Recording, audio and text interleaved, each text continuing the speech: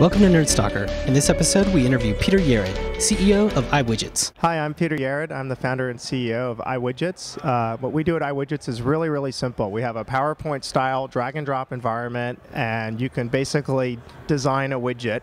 And what we do that's unique is you draw these lines and you make them actually interactive to your data at your site.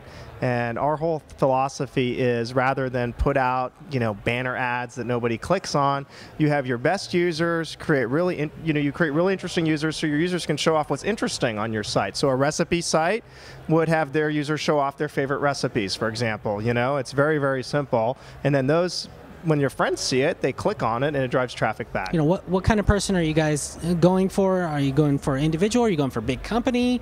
So the audience for our site is a website owner. It's somebody that has a website. Uh, it's really hard to get traffic to a website to get attention nowadays. Everybody's spending their time on iGoogle and Facebook and MySpace. So it helps a website owner take what's interesting on their site and spread it out to these social sites so that those people's friends then hear about their site and drive traffic back. So it's a very simple audience besides the cool like IDE, what, what else do I get? Are there any kind of features and like that?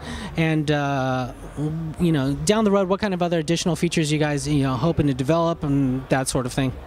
Yeah, uh, what we have is this really cool technology. We call it Widget War. Widget write once, run anywhere. And we take what you've designed and we make it a real Facebook app. It's got blue buttons, it's got canvas pages, it's got tabs.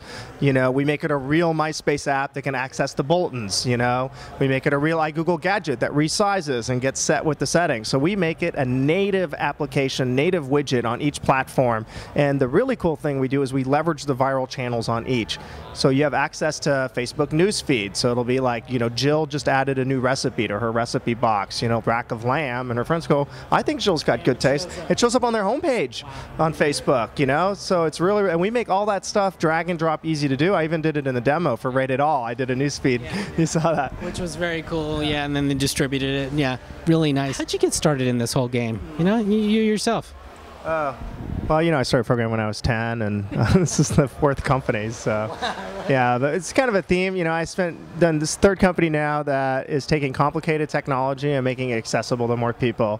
So in Java, I was with NetDynamics. I was the CTO of NetDynamics. was one of the first Java application server companies, and uh, my last company was ActiveGrid, which brought the LAMP stack into the enterprise. So corporate type developers could easily use open source, and now it takes all this complicated widget technology, and there's all these different APIs, and oh, it's just so freaking confusing, and it just makes it so easy for you to use. You know. Um, what's the uh, infrastructure that you guys are using? You know, how do I know that you guys are sitting on top something robust? Um, and who, you know, what kind of backing do you guys have? How do I know, you know, you guys are going to be around for a while? Yeah, we're venture financed by Opus Capital, um, great venture firm. I've known those guys for years, and uh, we're hosted up at Amazon. You know, had, they've had their growing pains, but we're, we're really, really pleased with that, with Amazon, and it scales really, it's really solid. EC2 scales really well, and then we use this really cool technology called Soasta, great interface. Lets you drag and drop, you know, click through a website and create load tests and then just hammer. And they're already up at Amazon, so we got to hammer our servers before we launched. And we're actually going to launch widgets, you know, kind of total stress testing. And we're launching, uh, you know, something with one of the top media companies in the world awesome. in a few weeks. Awesome. And we are just going to hammer everything, cool. and they're going to be so totally happy. Semi scoop here. Yeah, we got yeah, the semi scoop. All right, yeah, all right. in a few weeks. oh, cool. So um, where can we find more information about you guys at? It's real simple, www.iwidgets.com. Cool. Well, Peter, thanks so much for your time. And thanks for being on Nerdstalker. Appreciate it.